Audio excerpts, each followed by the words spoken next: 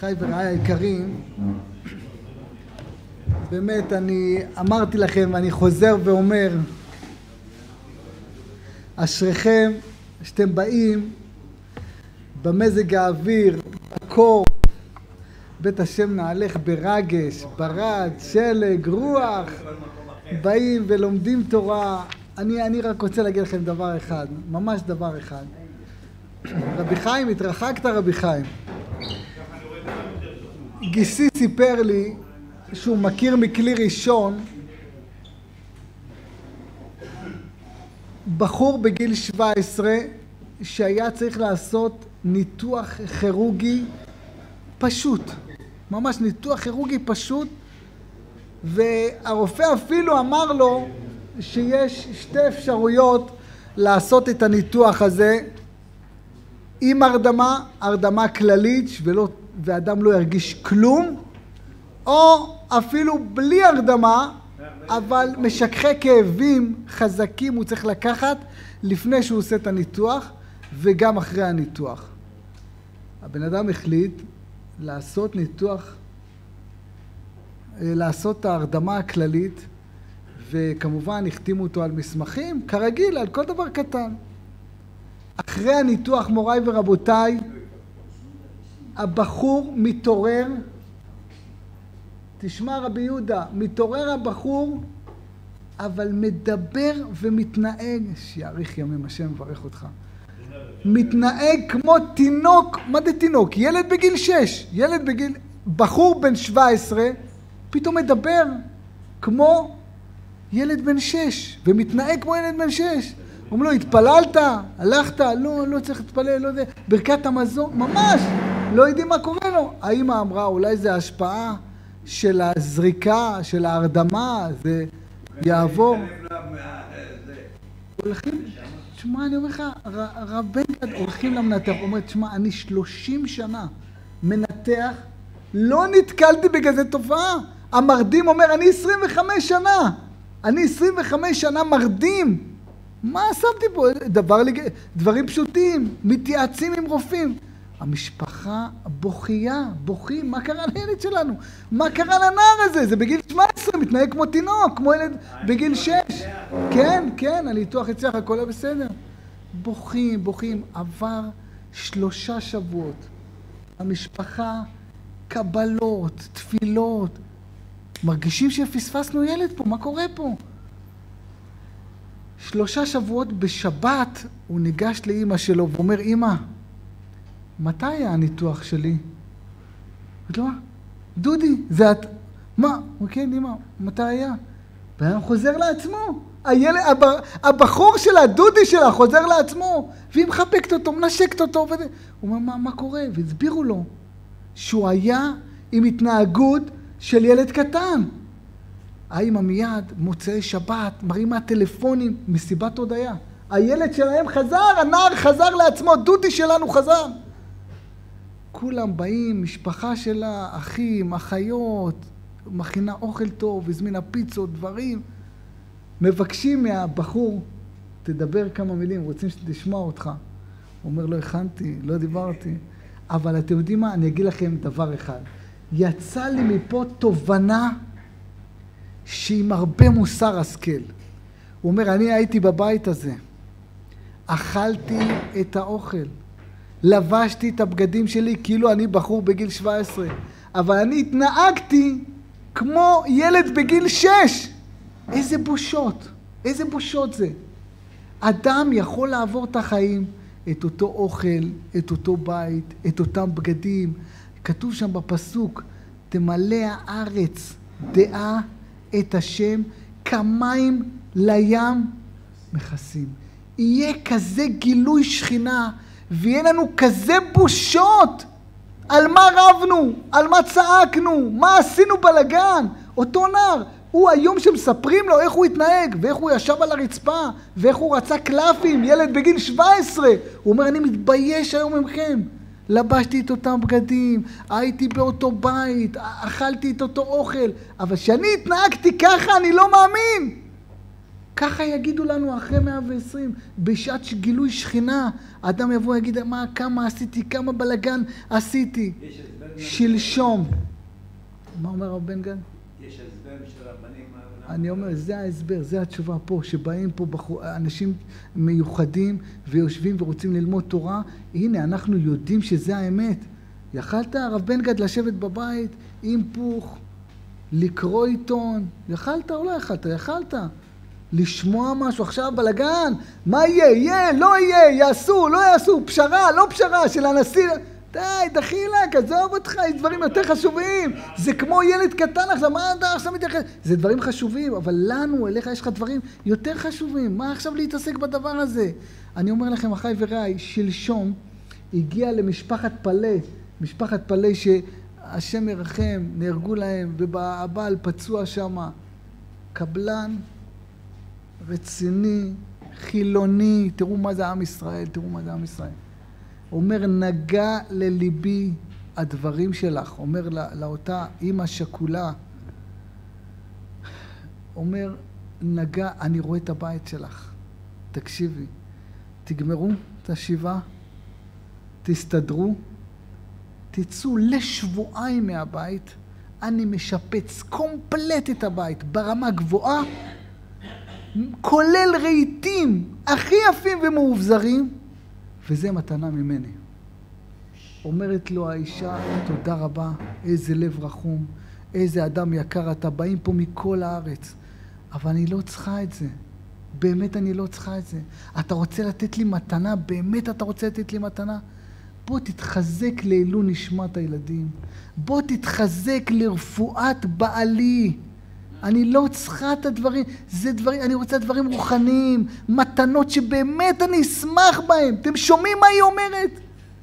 אם שכולה, אני צריכה לשלוח להם מתנות מפה לשמה. זה המתנות שאני רוצה לתת להם. מה זה יהיה לי בית יפה, עוד רהיט כזה, אני לא צריכה את זה. תראו איזה רמה, איזה רמה של אישה לאיפה היא הגיעה.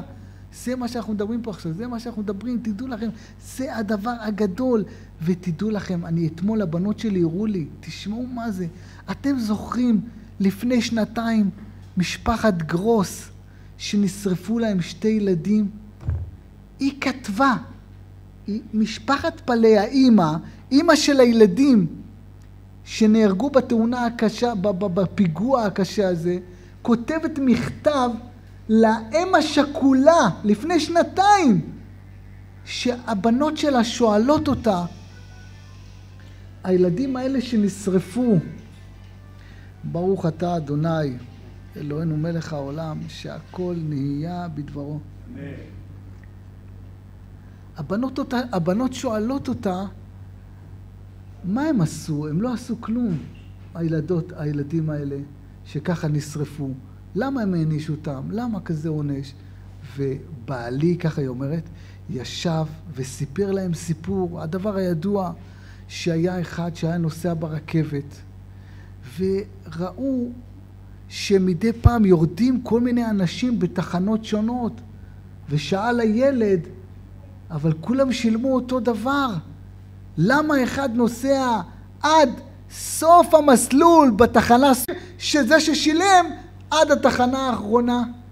ואז בעלי ישב והסביר לבנות, וכל זה היא כותבת לה במכתב, אני ראיתי את המכתב הזה, שכל אחד בתחנה שלו, כל אחד יורד בתיקון שלו. אז המכתב הזה שהיא שלחה למשפחת גרוסמן, את המכתב הזה, היום היא מפרסמת על הילדים שלה. זה, זה דברים מפחידים, כאילו איך אנחנו... אז היא כתבה לה מכתב מחזק, שאנחנו בעצם לא מבינים מה עשו, מה עשו ילדים קטנים, מה הם עשו. וזה כל אחד הגיע לתחנה שלו. אתם יודעים, הרב לסרי, הוא סיפר שאחד הפעמים שהוא טס באחד המחלקות, במחלקה הראשונה, הוא נתנו לו כנוסע מתמיד, עלה למעלה. לידו ישב כומר.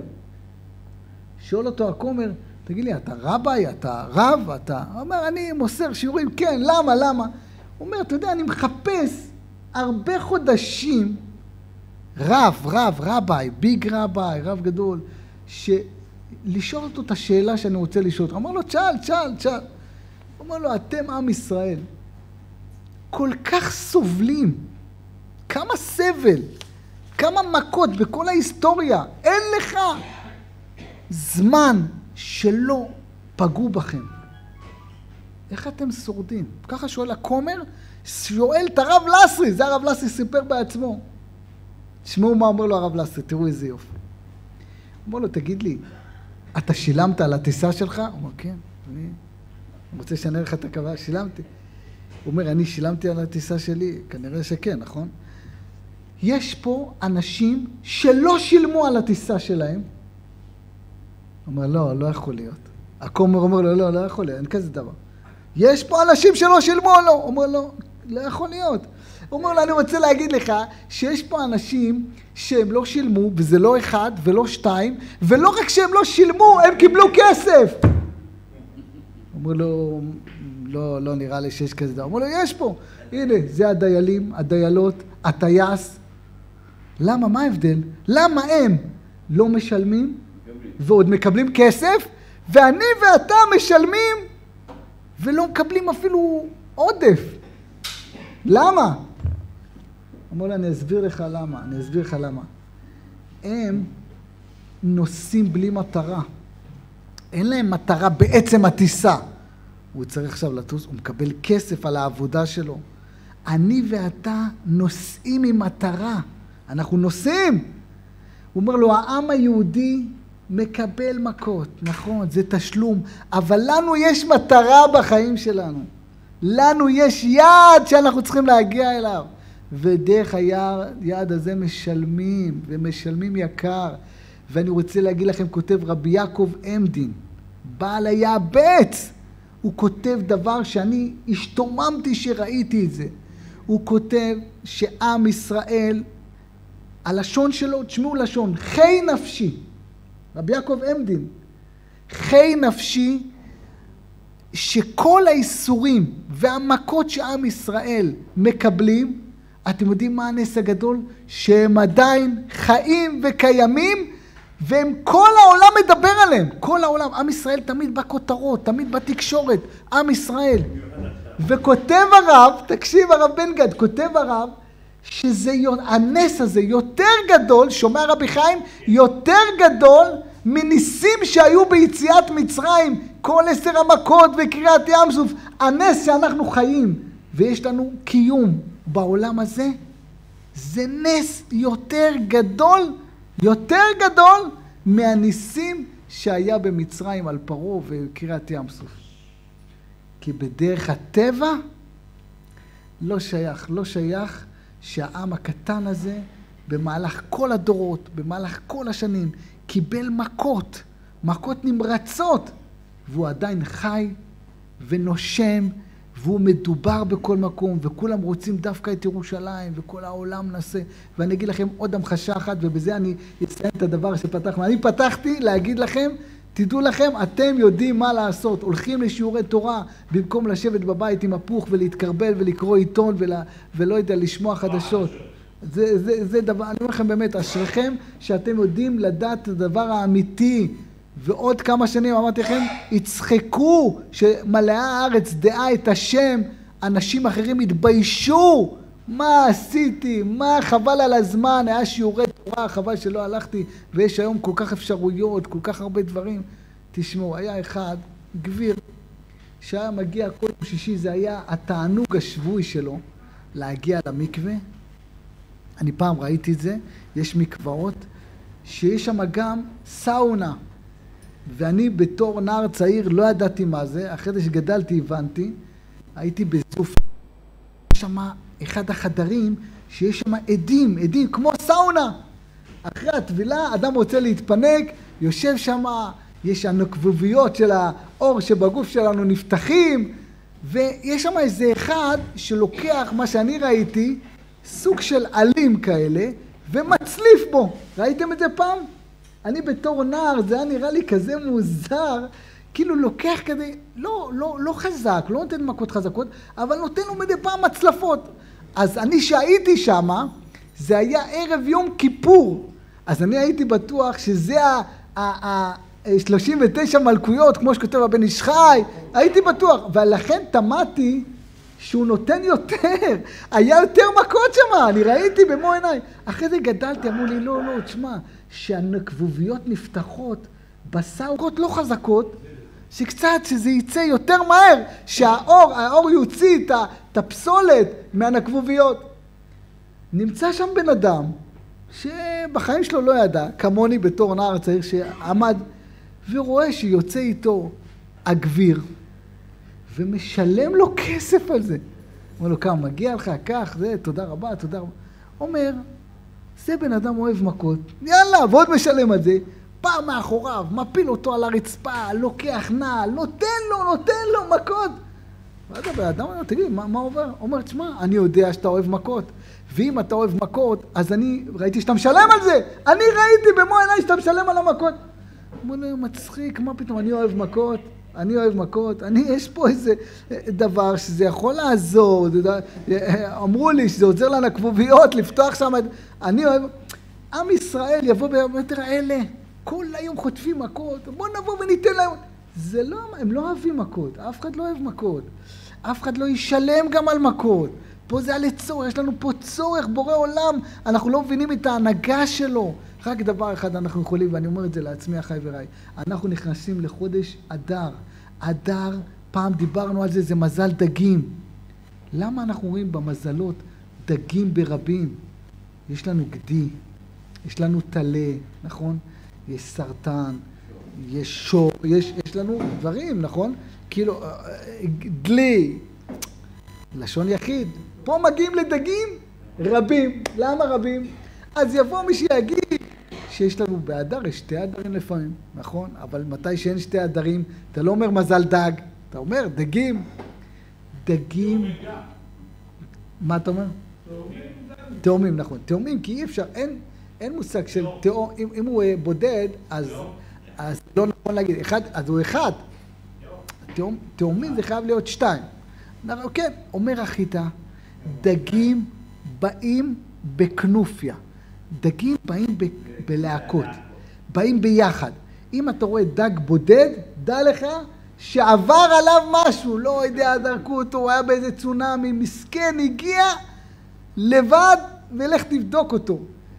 כותב רב חיים פלאג'י, וראיתי גם שם, הוא כותב את זה, שנכנסים לחודש אדר, הוא אומר בכלל אם יוצא חודש אדר ביום שלישי, כדאי לסיים ספר תהילים, אבל זה זמן מסוגל לאחדות. וחלילה חלילה, וזה מה.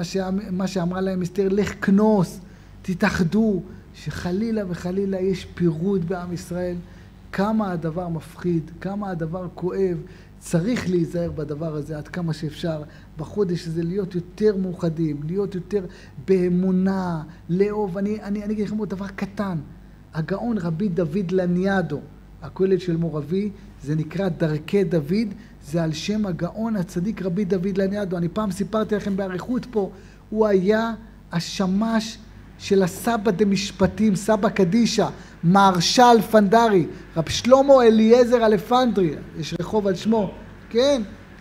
הוא היה צדיק, מקובל. הוא מספר שבבחרותו, במאורעות, תרפ"ט, שהגיעו הערבים ורצחו בישיבת חברון בחברון את אותם בחורים שלמדו תורה עם הסטנדרים, רצחו אותם בדם קר. שהוא הלך, הוא היה קבוצת חיילים, ליגיונרים, שהם באו ואמרו לו שיש איזה ספר תורה של אחינו האשכנזים, לך תציל את זה. אז הוא ביקש מהמשטר שם, בואו, אני רוצה להציל את הספר תורה. שהוא לקח את הספר תורה בידיים שלו. הוא אומר, רק חשבתי, לא הוצאתי מהפה, שראה את הנרצחים וראה את הדם. חשב בראש שלו, רק בראש.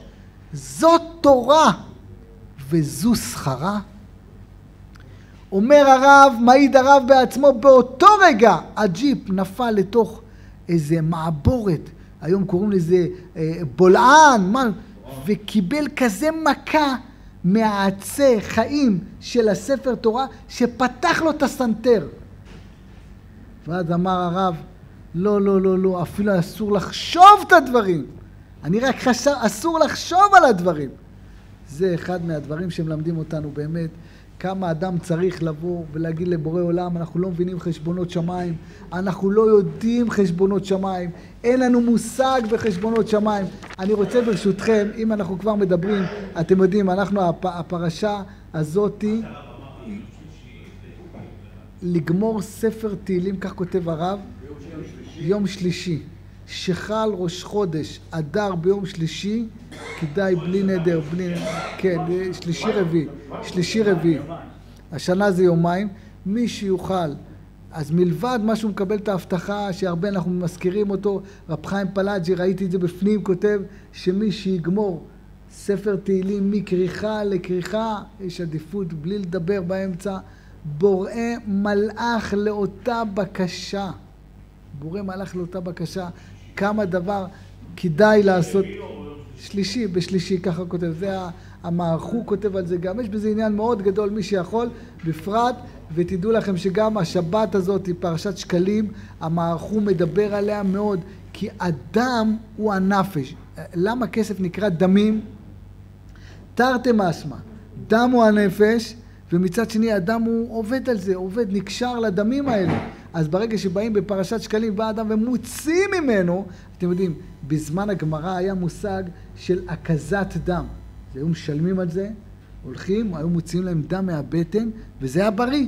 זה היה בריא, זה... היום גם היום הרופאים אומרים, זה מדי פעם אדם ייתן תרומת דם, זה מחליף את הדם, זה בריא, זה טוב. אתה רוצה לבריאות, אתה רוצה להצלחה, תוציא קצת דמים, תוציא דמים, פפלונס, תוציא קצת זה, שזה יהיה כנגד הדמים, ובעזרת השם יהיה רפואה ויהיה ברכה. אני רוצה, בגלל שהפרשה שלנו, אתם יודעים, 53 מצוות שבהם יש בין אדם לחברו, כמה הדבר גדול זה, אתם יודעים, כתוב בפסוק, מי יעלה בהר השם? מי יקום במקום קודשו? רב שלמה, אז אדם בא ואומר לך, מי יעלה בהר השם? מי יקום במקום קודשו? מה חשבתי? אחד שגמר ש"ס, אחד שהוא עושה תענית שובבים והוא לא מדבר, תענית שיבה, נכון? אתה בא להגיד, מי יעלה בהר השם? מי יקום במקום קודשו? אתם יודעים מי? נקי כפיים ובר לבב. מישהו זהיר בממון של השני, מישהו נזהר. לא, אתה אומר עכשיו אני רוצה איזה צדיק, חסיד, אחד שיש לו ידיעת התורה. לא, לא, לא. אחד שהוא זהיר, ולפעמים דווקא אדם שהוא עובד לפרנסתו, ואז יש לו הרבה פעמים ניסיונות שנשאת ונתת באמונה. פה הבן אדם נמדד, בוא נראה אותך. לא כמו מה ששמעתי ואני אומר לך וכואב, ואני חוזר על זה ואני אומר את זה לעצמי. אמר לי בן אדם, במקרה הוא עובד במוסך. זה לאו דווקא איש מוסך. היום יש לנו סטיגמה על בעלי מוסכים. בוא נראה, לא יודע, צריך לפתוח ולראות מה המצב, אתם מכירים את זה? ואז אחרי זה אתה מגיע לרופא שיניים, אתה אומר לו, תשמע, כמה זה יעלה? הוא אומר, תשמע, צריך לפתוח את הפה ולראות.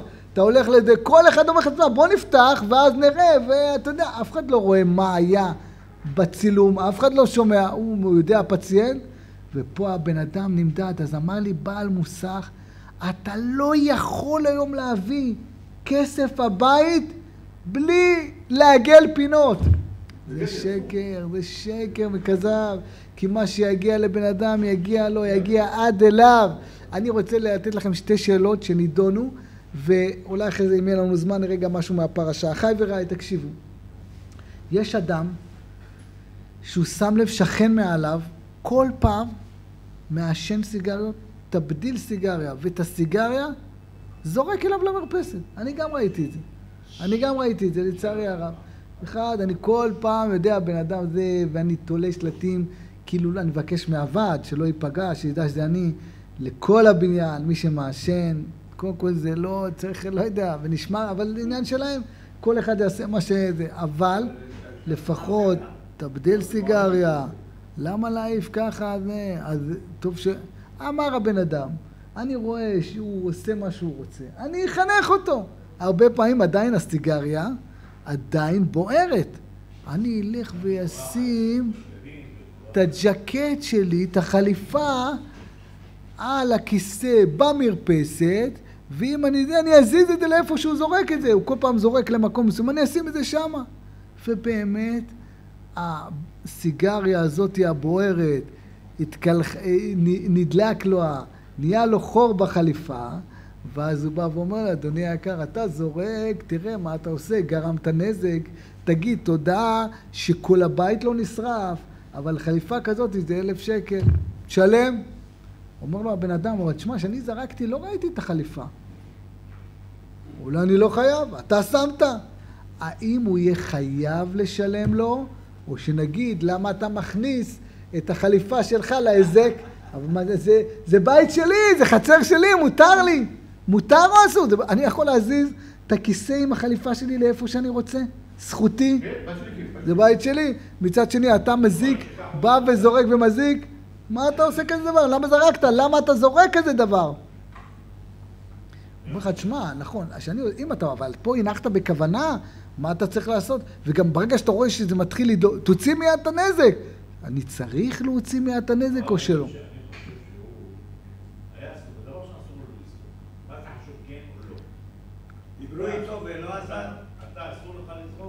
דיברו? דיברו, אתה יודע כמה אני תליתי שלטים?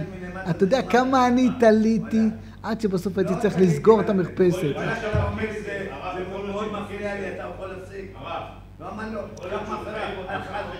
אין, הם לא שומעים. אני אומר לך, בוא, עזוב, לא אותו. אני אומר לך מה שהיה אצלנו. אני, לצערנו, הנה יש פה את הרב יעקבי, רב שלמה, השכן היקר שלי.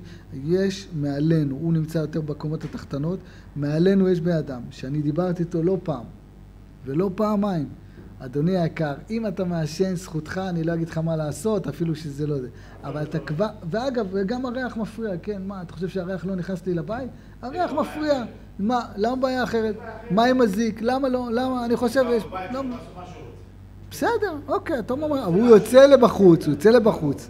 הוא לא מעשן בבית שלו, הוא יוצא לבחוץ למרפסת שלו, גומר, מעיף את ה... אני ראיתי כמה...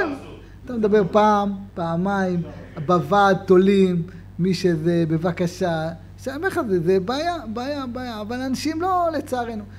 זו שאלה ראשונה. שאלה שנייה, ואגב, החוות דעת מתרץ על שתיהם, וזה קשור לפרשה שלנו. אדם השאיל רכב מחבר שלו, אמר, תשמע, אני פה לאיזה חתונה, תעשה טובה וזה וזה וזה. אמר לו, אין בעיה, קח את המפתח.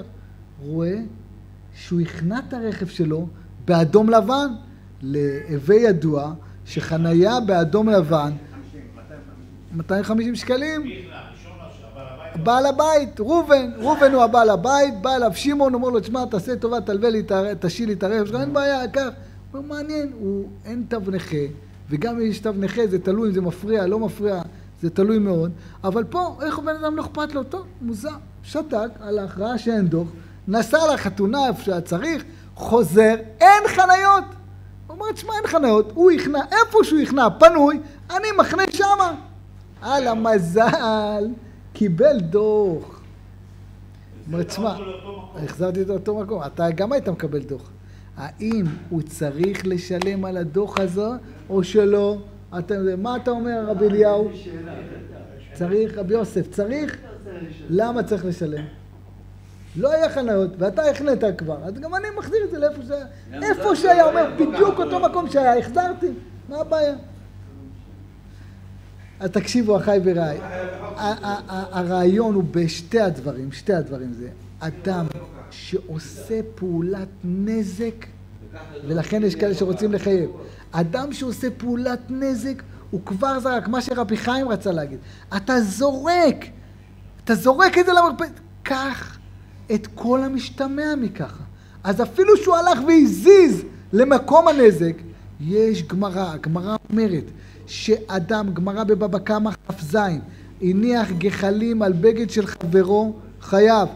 אבל אם זרק מישהו לחצר שלו, ואפילו שיש בגדים, אתה לא חייב להזיז. אותו דבר יש גמרא, הגמרא אומרת שאם אני השאלתי לך כסף ביישוב, ואני הולך ואני מחזיר לך את זה למדבר, לא לקבל, למה? במדבר יש ליסטים, יש בלאגן. אבל אם נתת לי במדבר, ואני מחזיר לך למדבר, אז אני מחזיר את זה לאותו נקודה. אז יש כאלה שרצו להגיד ברכב, החזרתי את זה לאותו מצב. אבל הכלל העולה בשתיהם. אדם צריך לחשוב, מה שהיית רוצה שיעשו לך, אל תעשה לחבר שלך. ותדעו לכם, זה מה שרואים בפרשה אצלנו. ואנחנו פעם דיברנו על זה.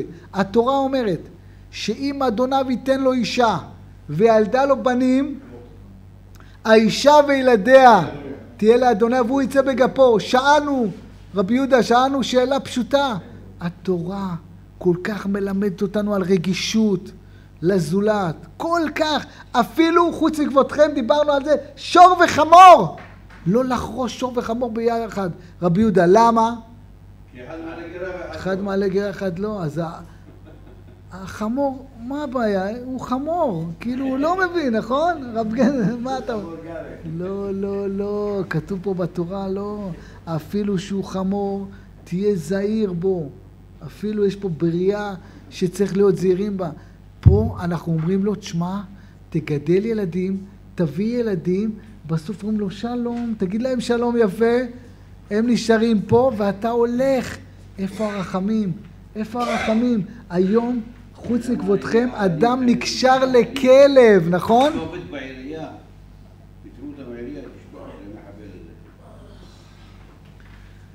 אני אומר לכם, היום, צריך לדעת דבר אחד, כל עוד בן אדם לא יודע להגיד טוב לאחר, זה המצב שלנו. יפה מאוד, יפה מאוד, אבל אני אומר לך, תשמע, להגיד טוב. אם מתפרנסים מאיתנו, לא יודעים להגיד תודה, אז זה המצב. כי יגידו לך, אבל לא כולם, ואם הם לא אין יעבדו, כולם. רבי יהודה, ערבים, רבי יהודה, אז- רבי יהודה, אם הם לא יעבדו, אז לא יהיה להם עוד יותר מה להפסיד. זה לא כזה פשוט, לזרוק באו את... כן, תקשיבו, אחיי ורעי. אז אה, נשאלת השאלה, איפה הרחמים? איפה הרחמים? אנחנו יודעים שהיום אדם נקשר, אמרתי לכם, בר מינן להבדיל אלף אלפי הבדלות לכלב. אני אומר לכם, אני ראיתי, היינו לומדים ברחביה, שהייתי רואה נשים זקנות שמלבישות בכל מיני פלוברים את הכלבים, אתה בא ונותן פרגון, אתה כאילו פרגנת לה על הבן שלה. תודה רבה, אתה אומר, איזה חמוד, איזה זה, זה, איך אתה זה, איך את מספרת אותו. תודה, תודה, זה עלה כאילו, כאילו, כאילו עכשיו באת ונתת לה פרגון על הבן שלה. למה? כי אדם נקשר.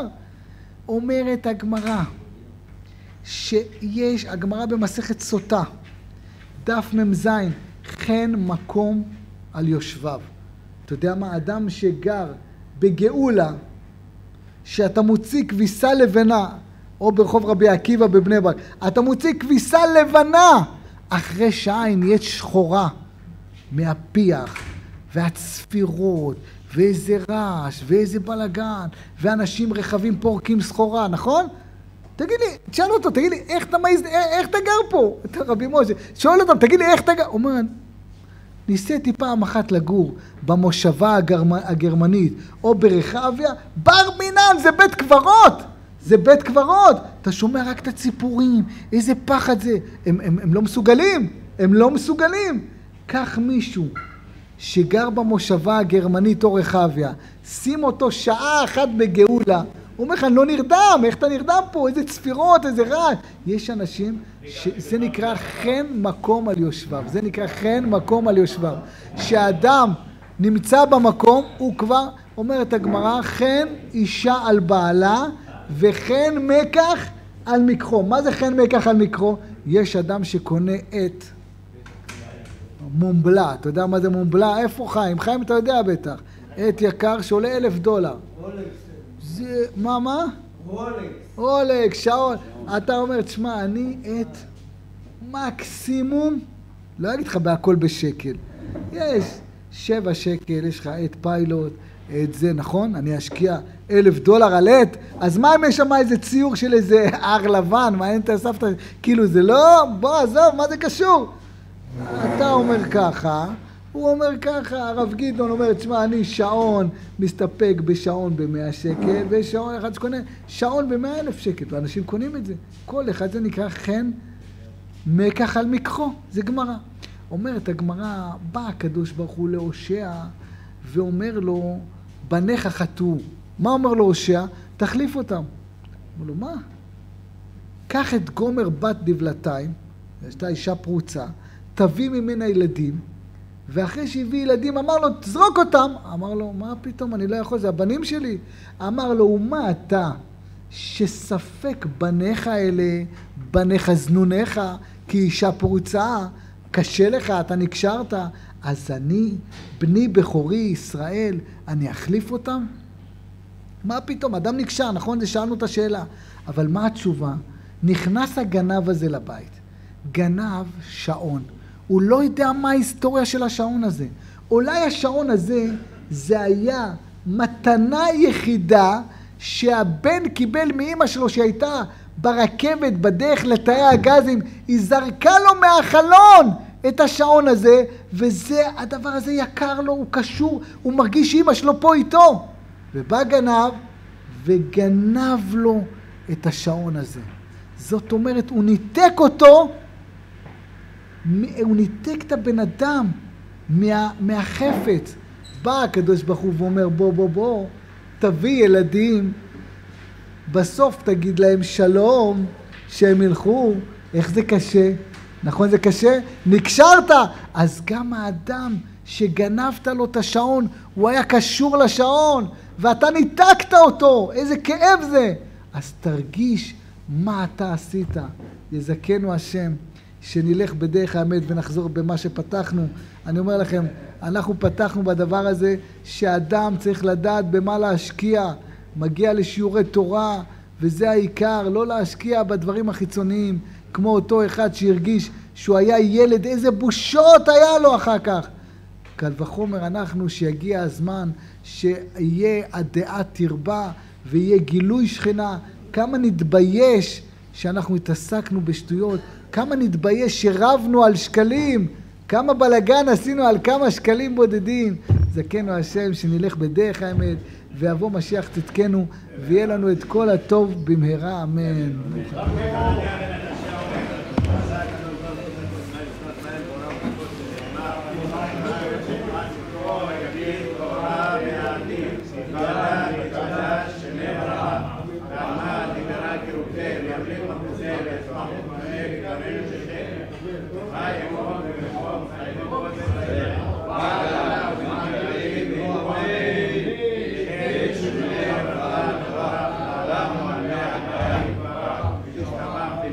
רבותיי, מי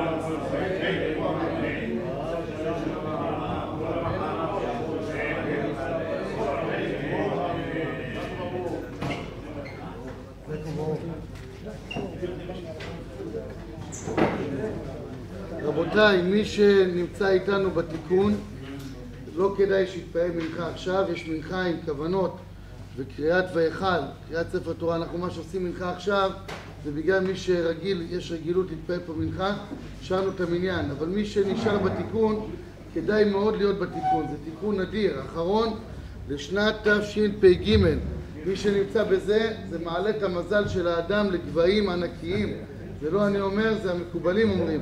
לכן, מי שיכול להשתתף בתיקון, יהיה פה בעזרת השם, יבואו עוד אנשים. יהיה פה תלמיד חכם מקובל, אמיתי, תלמיד חכם אמיתי, שיעשה פה תפילת מנחה עם כוונות, והתפילות עולות למקומות עליונים מאוד. אז כל אחד יעשה כפי עניינו, חזקים ובורחים. מנחה, יש עכשיו מנחה למי שצריך ללכת. מי שנשאר, יש לו, אין לו אונס, כדאי שיישאר לתיקון, לא להפסיד אותו. זה יותר שווה מלהיפגש עכשיו עם... אה, קייטמאן, אה, או עם עשיר גדול לקבל מיליונים, פה השירות נמצאת, לא שמה. לא שמה. וזה השירות נמצאת, לא צריך את נחמה. אפשר, אפשר. אתה מוכן לתת לי את כל הזכויות שלך, אני אשאל אותך.